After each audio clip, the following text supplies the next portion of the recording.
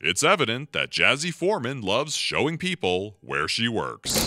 Hi, welcome to Solid Ground. Solid Ground helps families build strong foundations. Solid Ground's program director, Jazi Foreman, is a big reason why so many are getting a second chance at life after being homeless. Homelessness is probably one of the most horrific um, place anyone can end up when you don't have a lease with your name and a key in a room in a bed for you and your children to sleep in. Foreman has been the program director at Solid Ground for a little over three years.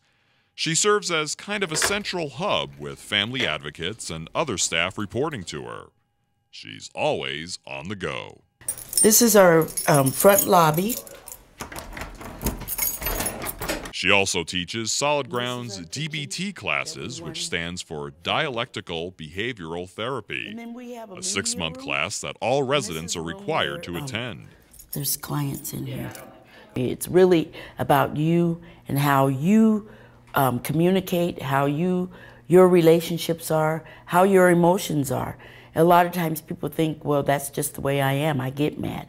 Well, why do you get mad? How do you behave when you get mad? You know, some people don't even know how to feel happy because their emotions have been traumatized. So the dialectical behavioral therapy really helps the person get in touch with how they relate, how they behave and respond in, in their emotional health. Foreman works closely with the residents and at any moment could be interacting with a child or an adult. And they said, Well, what do you like better, youth or adults? And I said, I really like the family. I get the benefit of the whole family, youth, the babies, the children. One minute I can hold the baby. One, bit, one minute I'm encouraging a teenager to go to school and get, get what they need because their education is the most important thing. And no one can take your education from you. you. You're the only person that can deny yourself of that. You know what I'm saying? So, and then you get to work with the mom and dad or to help them become what they need to be to be stable and competent as a family. So I think I have the best world.